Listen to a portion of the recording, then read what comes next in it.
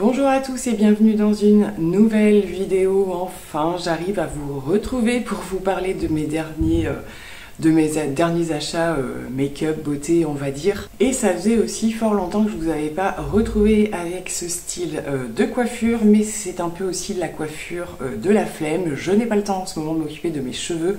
Ça devrait pas tarder à revenir, parce que je devrais passer me faire, me refaire faire une tête et puis bah, avec euh, voilà les jours un peu chauds qu'on a, je trouve que c'est tout à fait adapté. Donc je vous retrouve pour un haul et ce sera un haul Sephora et Kiko. J'ai regroupé mes derniers achats euh, dans ces deux enseignes et puis on va en parler euh, tout de suite. Il y a des nouveautés, d'autres un petit peu moins, donc c'est parti. Alors pour Kiko, eh bien, euh, je vous en avais parlé il n'y a pas très longtemps. J'avais repris euh, leurs euh, produits pour les yeux qui sont donc les les Long Lasting Eyeshadow Stick, qui sont des produits que j'aime beaucoup, euh, dont la gamme s'est un petit peu développée. Et je vous avais dit voilà qu'à l'occasion, je retournerai en prendre. Donc c'est ce que j'ai fait et je suis bien tombée puisque lorsque j'y suis allée, il y avait euh, 3 pour 2. Donc ça c'était génial et je m'en suis rendu compte qu'en arrivant à la caisse en plus. Donc euh, pour le coup, j'ai pu en choisir 3 et j'en ai payé que 2. Donc j'ai essayé de faire des choses euh, un petit peu différente, mais vous allez voir, je suis restée dans le nude.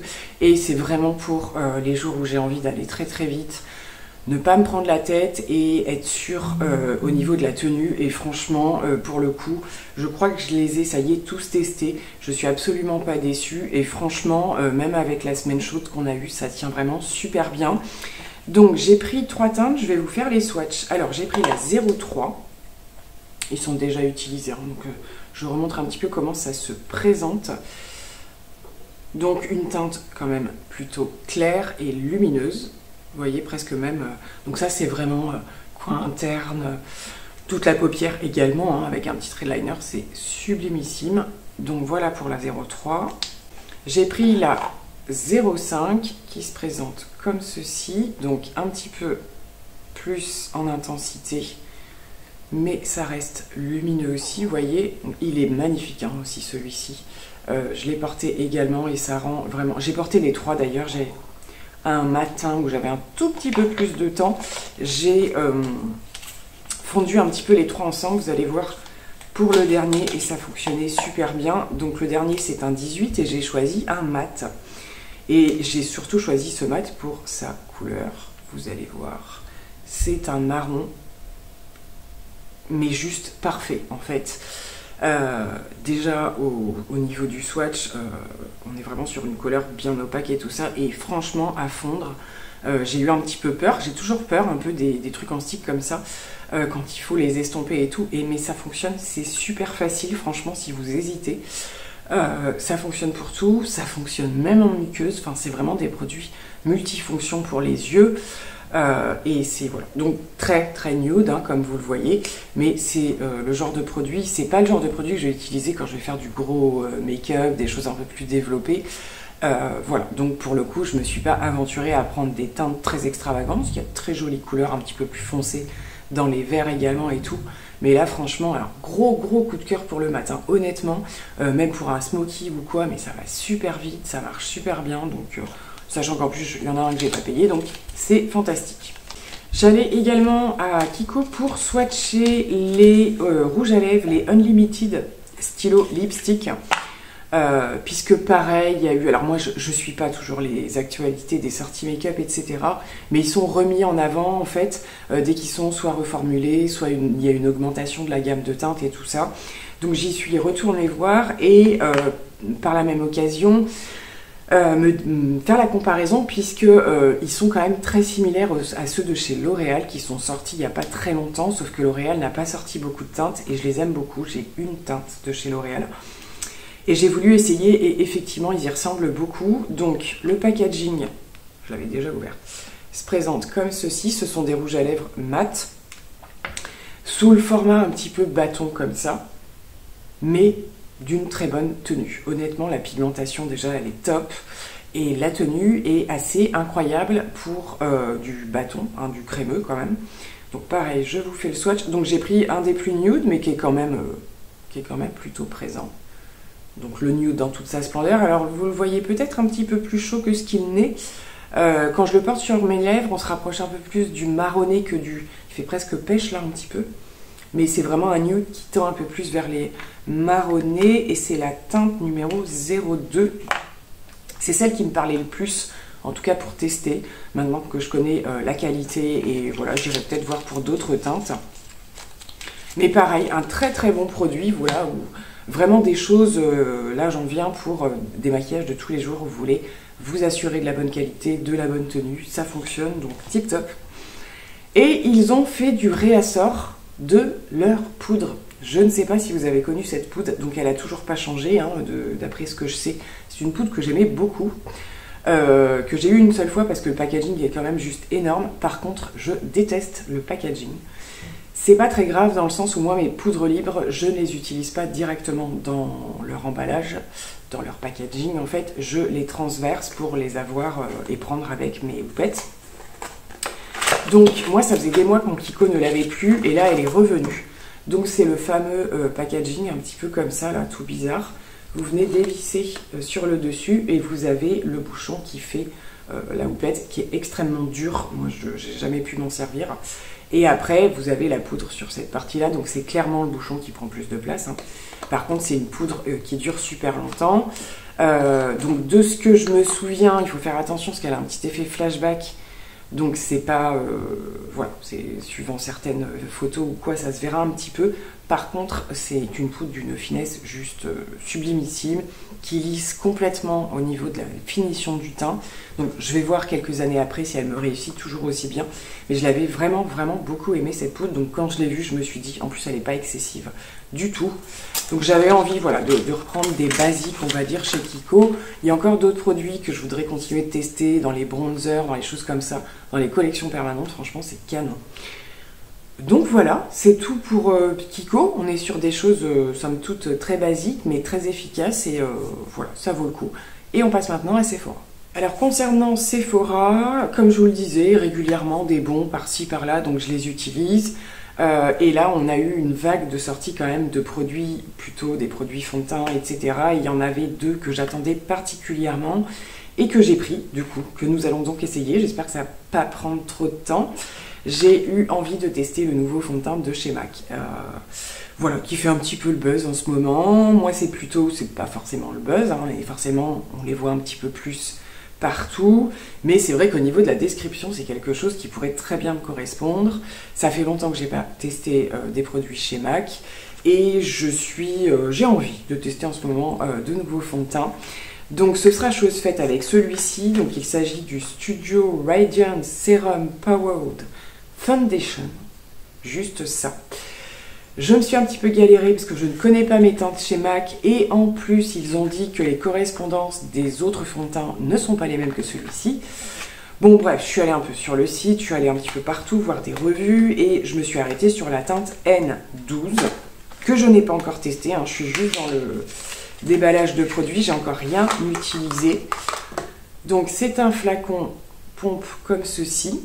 Alors je vais quand même juste un petit peu en prélever. C'est fond de teint sérum, donc je pense que c'est assez liquide. Et je vais regarder si ça paraît matché pour la teinte. Alors j'ai fait le swatch ici. J'arrive pas trop à me prononcer. À première vue, pour une teinte neutre, j'ai un petit doute. J'ai un petit doute, mais en l'étalant comme... Alors c'est pas du tout... Euh, enfin voilà, je, l'ai fait sur mon poignet pour vous montrer, mais c'est pas du tout ma teinte de visage, hein, clairement, on le sait. C'est juste pour avoir un aperçu. Je le trouve un petit peu chaud. Bon, là, à cette saison, ça peut peut-être encore le faire. Ce qu'on va faire, c'est que voilà, je vais laisser le swatch et je vais voir si ça oxyde un petit peu, en tout cas sur la main. Bon, je pense que ça, ça me paraît pas trop mal quand même.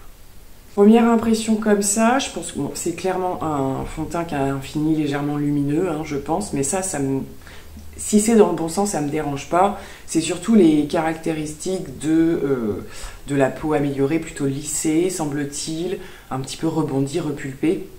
Donc ça, forcément, on adore. Et ce serait pas mal non plus en termes de couvrance quand même, assez modulable. C'est vraiment ces caractéristiques-là hein, qui m'ont... Euh, m'ont semblé pas mal. Ça n'a pas trop trop l'air d'oxyder. On va laisser encore quelques minutes. Et je continue, bon, on va enchaîner euh, clairement dans les fonds de teint. Euh, le fond de teint stick de chez Fenty Beauty dans la gamme du Ease Drop en fait, qui est un fond de teint que j'ai déjà, que j'aime beaucoup beaucoup.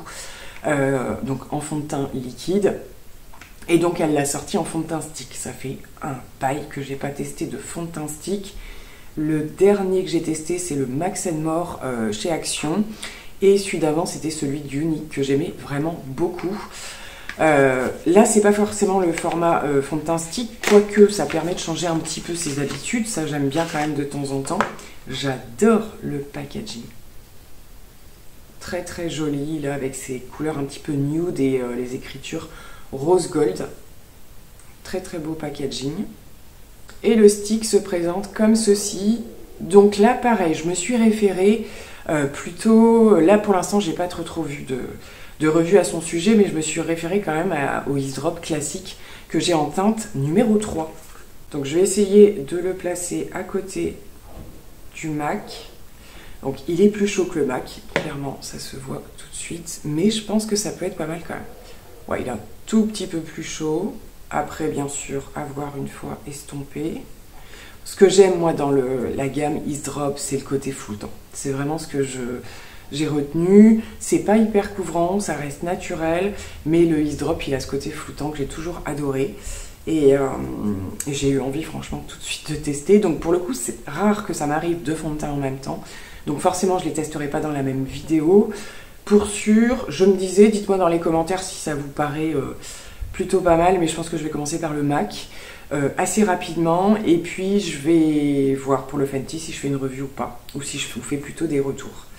Bon, on est sur deux styles très très différents. Si le MAC est un tout petit peu oxydé, je trouve. Vous n'avez pas forcément autant le retour que moi, alors que le Fenty à côté, lui, c'est complètement fondu par contre.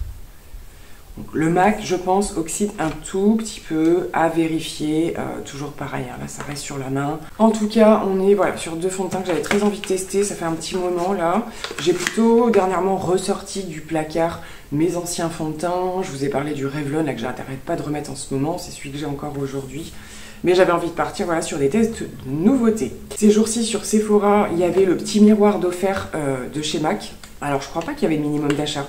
C'était... Euh, ah, je me rappelle plus. Est-ce qu'il y avait un minimum? Enfin, bon, bref, moi, avec le fond de teint, ça faisait le minimum. Bon, petit miroir MAC, rien de foufou, pratique pour mettre dans le sac. Euh, je, fais rarement des retouches au miroir euh, je me rends dans des sanitaires ou des choses comme ça, ou quand je suis chez moi éventuellement, quand je rentre chez moi. C'est un double miroir par contre, ça c'est plutôt, plutôt cool. Bon, toujours sympa, le petit geste, le petit geste en plus. Je vous parlerai des échantillons juste après. On continue avec les produits. Bah, je vais rester chez Fenty Beauty. Fenty a sorti différents produits là dernièrement et également donc des, ombres en crayon, un peu dans la même gamme des Kiko d'ailleurs. Donc je suis un petit peu sur du, du double double produit, mais comme c'est Fenty, ben forcément j'ai eu envie de tester, évidemment, grande fan de la marque que je suis. Donc j'ai pris juste une teinte pour commencer, donc ça se présente comme ceci, ça c'est tout nouveau, ça vient. C'est arrivé en même temps que le fond de teint. Et j'ai pris la teinte 01, bah pareil, un très très... Oh j'aime bien. L'embout est un petit peu... Alors ça fait pas tout à fait la même chose, on dirait plutôt un embout de rouge à lèvres finalement. Euh, un petit peu incliné comme ça. C'est très beau. C'est très très beau. Voilà pour la teinte 01. Alors c'est du lumineux, hein. c'est parce qu'il y a lumineux clair, c'est pas ce qu'il y a de plus facile à montrer. Bah, c'est super beau. Il est un petit peu plus en intensité que le Kiko, je sais pas si vous voyez. On est sur une teinte plus chaude que le Kiko.